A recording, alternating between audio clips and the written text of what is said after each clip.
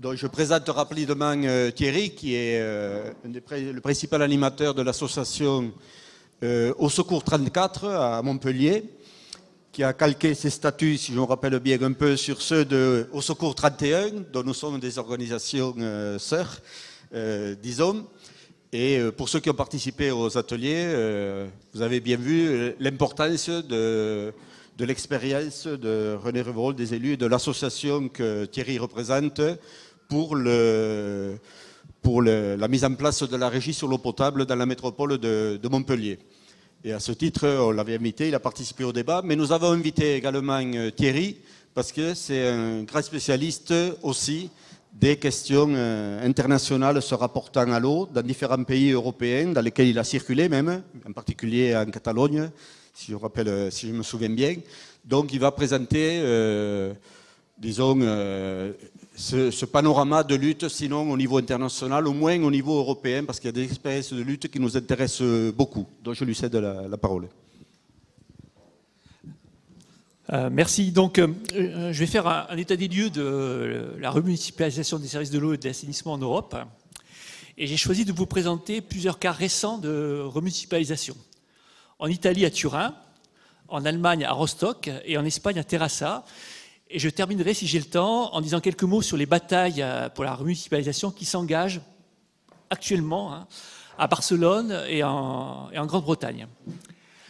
Alors, à la sortie de la Seconde Guerre mondiale, euh, les services de l'eau et de l'assainissement étaient partout en Europe, en grande majorité, voire en totalité, gérés sans but lucratif par des administrations, euh, des établissements ou des sociétés publiques, y compris en France.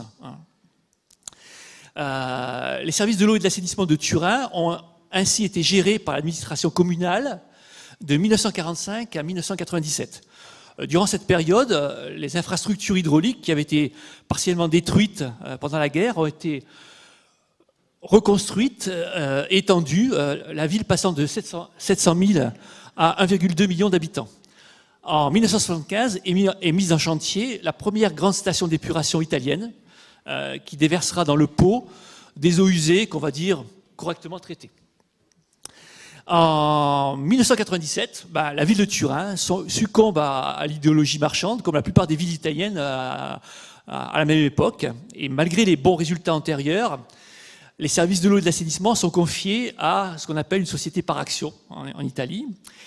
Donc, bien que les actionnaires euh, de cette société soient les communes de la métropole de Turin, cette société obéit à une logique capitaliste de recherche de profit. Et au fil des années, il en découle une dégradation constante de la qualité du service rendu aux usagers et une forte augmentation de leur facture d'eau. Hein. Seuls 28% des bénéfices sont réinvestis dans la, rénovation des infrastructures. Le reste est distribué aux actionnaires. Le taux de fuite atteint le chiffre record de 47% en 2016 les stations d'épuration ne sont plus en, capacité de, traiter euh, totalement euh, les eaux usées, etc.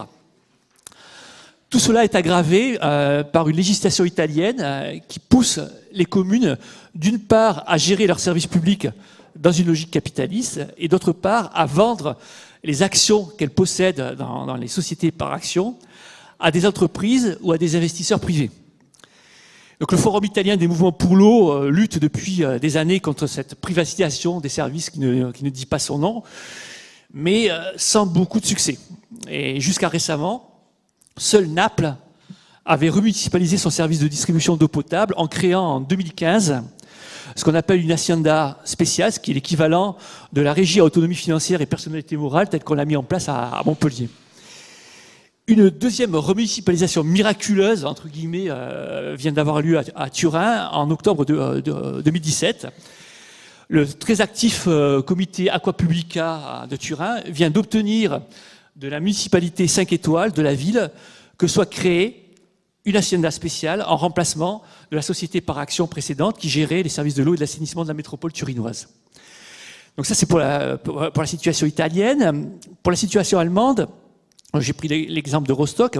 En 1993, la gestion du service d'eau potable et d'assainissement de la ville de Rostock et des 29 communes environnantes a été privatisée à travers un contrat de concession signé pour 25 ans avec une entreprise privée euh, qui s'appelle Eurowasser Nord, qui faisait partie euh, du groupe Suez, qui était une filiale de Suez. Dès le départ, les municipalités dénoncent le manque de transparence de l'opérateur privé. Le prix de l'eau euh, est environ 20%, supérieur à, ce qu'il est dans les autres villes allemandes similaires, sans que ça se traduise par une meilleure qualité de service, au contraire, et avec moins d'investissement. En 2014, euh, le conseil municipal de Rostock décide, avec les 29, autres villes concernées, de mettre fin au contrat à son expiration en 2018. Et pour ça, une, entreprise municipale de droit public est créée en 2015 euh, pour remplacer l'opérateur privé. Et c'est cette, euh, entreprise municipale qui s'appelle Nordwasser qui assurera l'approvisionnement en eau potable et en assainissement à partir de juillet 2018. Maintenant, on s'attaque à, l'Espagne. Donc, euh, l'Espagne, c'est quelque chose d'assez particulier, parce que l'Espagne a subi une, grande vague de privatisation des services de l'eau, de l'assainissement des déchets dans les années 80-90. Cette vague de privatisation s'est faite au bénéfice euh, euh, d'entreprises françaises comme Veolia et Suez, à travers sa filiale Agbar, mais aussi d'entreprises espagnoles comme Aqualia, qui est actuellement le numéro 2 en Europe derrière Veolia, mais devant Suez, et Aguas de Valencia. Comme vous le savez peut-être, euh, Aqualia et Aguas de Valencia euh, ont, répondu à l'appel d'offres euh, de, la métropole, de Toulouse. Dans la plupart des privatisations, il y a eu corruption des maires et autres décideurs politiques du Parti populaire, mais aussi du Parti socialiste, dont l'ampleur est difficilement imaginable pour nous Français. Pourtant, on connaît, on connaît les, situations de, corruption en France au niveau de l'eau et de l'assainissement, comme par exemple ce qui se passe en ce moment au niveau du SIAP.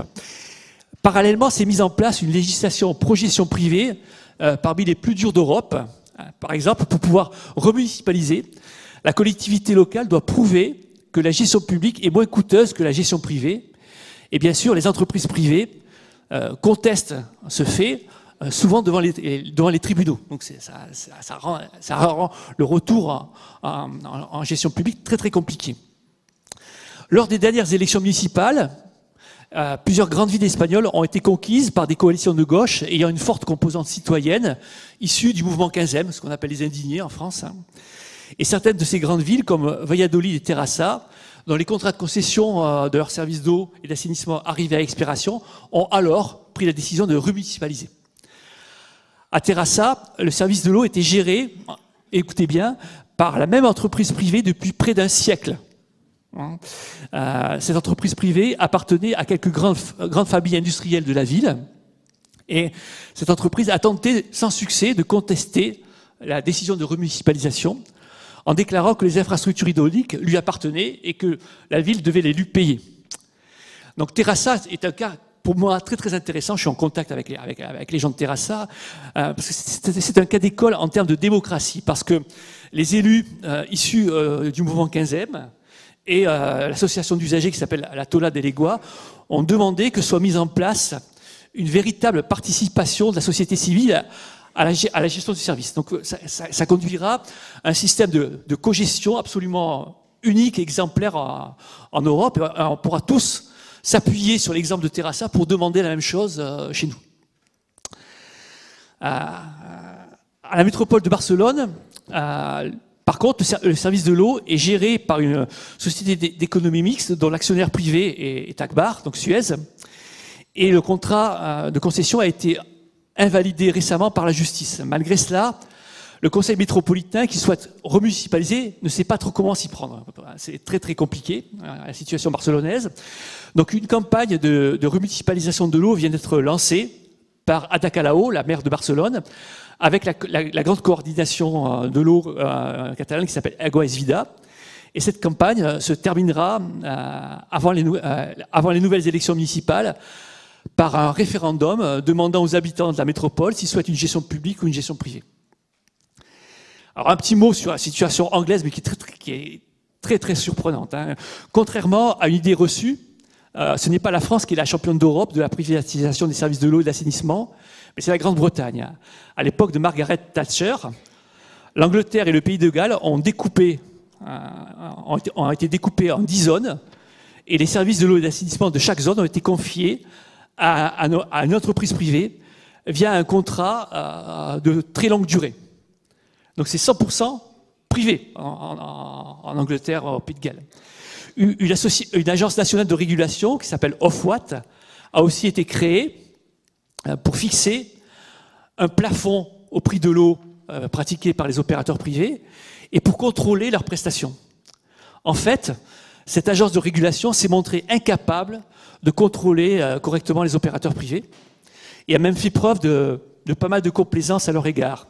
Et donc au fil du temps, la presse a révélé plusieurs grands scandales, par exemple une rémunération astronomique des PDG des opérateurs privés, des fraudes, des fraudes permettant de ne pas payer d'impôts sur les bénéfices de ces sociétés, un manque d'entretien et de renouvellement des infrastructures, ça c'est classique, hein, on le retrouve tout le temps, mais aussi une pollution des cours d'eau par les rejets des stations d'épuration qui ne sont pas mis aux normes. Et donc, dans, l'optique des, prochaines élections, euh, le, parti, travailliste a choisi de surfer euh, sur la vague euh, des, scandales et du mécontentement des usagers de l'eau, et en demandant à ce que les, opérateurs privés soient nationalisés. Euh, c'est une proposition qui a été très bien accueillie au sein de la population. Et le gouvernement conservateur a immédiatement réagi hein, en, tapant sur les doigts de l'agence de régulation et en, sommant les, opérateurs privés de payer leurs impôts et d'avoir plus de transparence et d'efficacité dans leurs activités. Alors, qu'est-ce qui va en sortir de tout ça? Eh bien, En fait, on en saura plus euh, à la fois à Barcelone euh, et, en, Grande-Bretagne dans les, mois, qui viennent, exactement comme à Toulouse en fait. Il faut, suivre un petit peu ce qui va se passer. Donc euh, c'est important de, de, voir euh, ces, remunicipalisations et ces batailles pour la remunicipalisation pour que vous puissiez vous, en inspirer. parce que même si, dans chaque pays il y a des spécificités, les, grandes batailles, les, grands motifs sont exactement les mêmes.